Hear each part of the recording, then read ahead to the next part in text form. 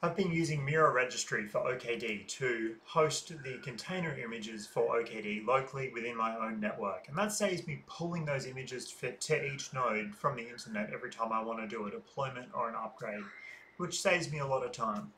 So I wanted to make a quick video about how to deploy Mirror Registry and utilize it in your environment. Now to keep the video quick, I'm just going to deploy Mirror Registry in this video. I know my last few have been like an hour long, so we'll keep this one nice and quick and just go over the deployment of Mirror Registry.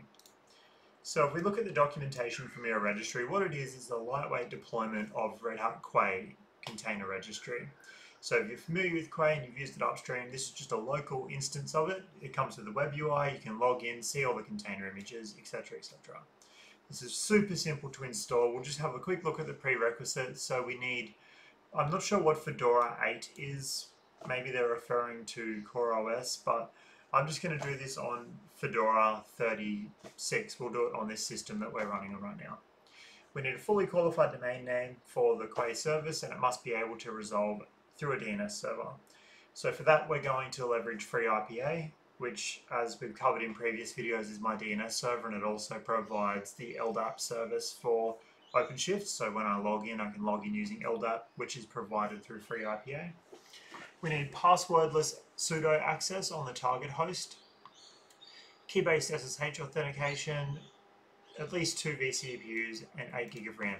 Now the storage requirements are going to change quite dramatically depending on what you want to host here. So if you just want to host the release images, you're looking at 12 gigabytes or 358 gigabytes for the release images and the operator images.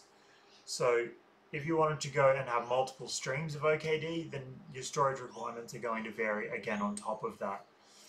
So in this environment, I'm just going to sync in um, one release, so I don't need too much space for this in this environment. So there's a bit of a blurb here about what it is, how to use it. So if we just scroll down, we can see there's a link here to the OpenShift console downloads page. So if we click on that, which I should actually open a new tab, so we'll open a new tab.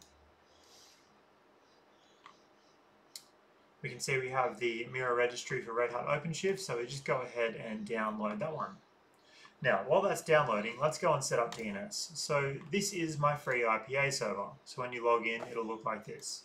So we go to Network Services, DNS, and then we select the okd4.bne-shift.net domain.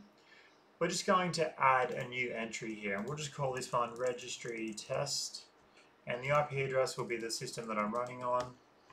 So we'll add that one in there now. So now that should be resolvable from my DNS server.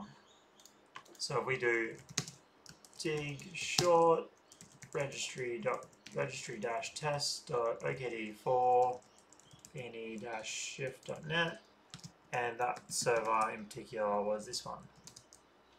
So there we go. We can see that that does indeed resolve through DNS now. So that's great. That's what we need. So we still have a few minutes left on that download, so let's go to here. Now let's go to slow storage, and we'll make a directory here called registry. So this is the directory we're going to use for this deployment. Now this is on a hard drive that I have mounted there, so this one here. So you can see we've got two terabytes of storage available here, which is more than enough for what we want to do. So our download I can see is still going there. We'll just give that a couple more minutes and then we will get stuck into it. Actually, the other thing we need to do is add sudo-less SSH. So if I do sudo ls here, sudo ls, we can see that I'm able to do that without a password. So let's just go into etc sudoers.d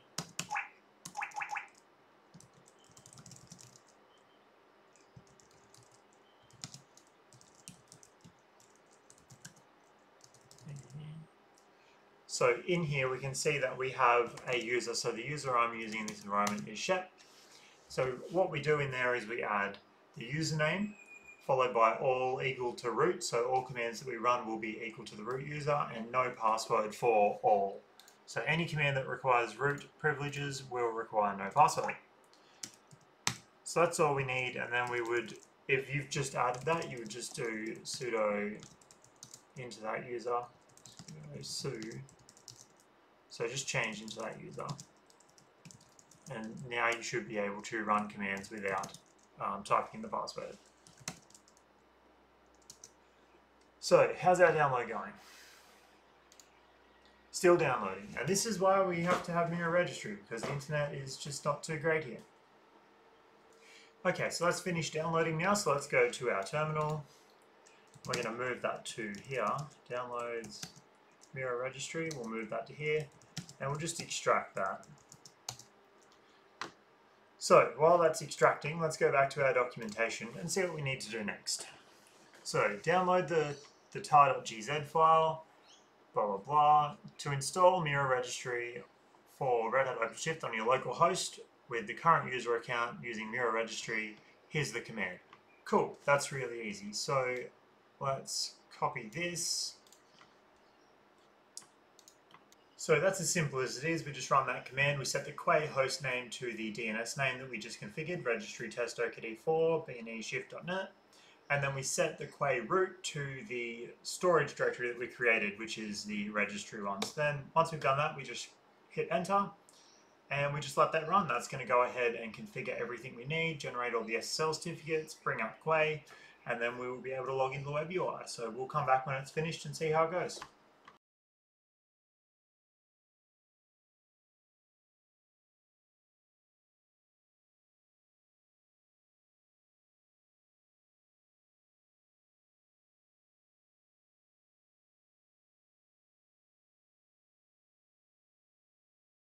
Okay, so that's finished there now, and we can see we've been given some credentials to log in with.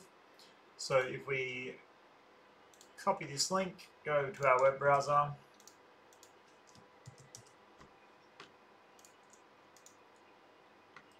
Cool, we can see we have Quay up and running.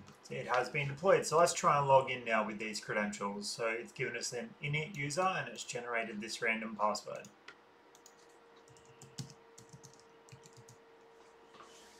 There we go, we've logged in. Now obviously we have no containers here, we haven't done anything to sync them in, but that's that's all there is to it. It's really, really simple to get Mirror Registry up and running, and then you can use that for any container images you want. It doesn't just have to be OpenShift, you could push your TripleO containers to it, or you could push some container that you've made yourself to this registry and self-host it at home. So it's a really cool way to get a container registry up and running really quickly and in the next video, we're going to take a look at syncing in all of the um, container images for OKD 4.10.